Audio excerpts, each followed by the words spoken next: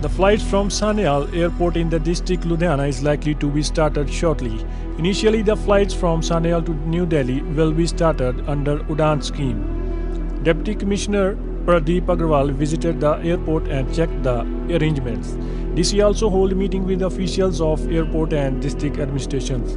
He issued instructions to recarpet the road leading towards airport and beautification of entry of airport ever since the launch of Udan that seeks to make flying more affordable and Ludhiana being the one of the top industrial destination remains underutilized despite having aviation infrastructure at Ludhiana's Sahnewal airport.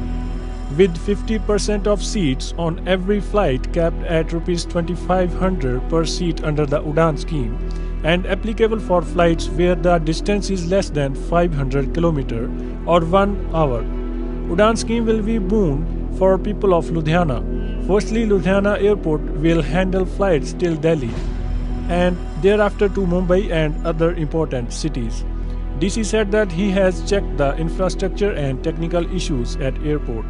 The Sahnewal airport is ready for the flights and he has issued directions to officials to complete the arrangements in couple of days.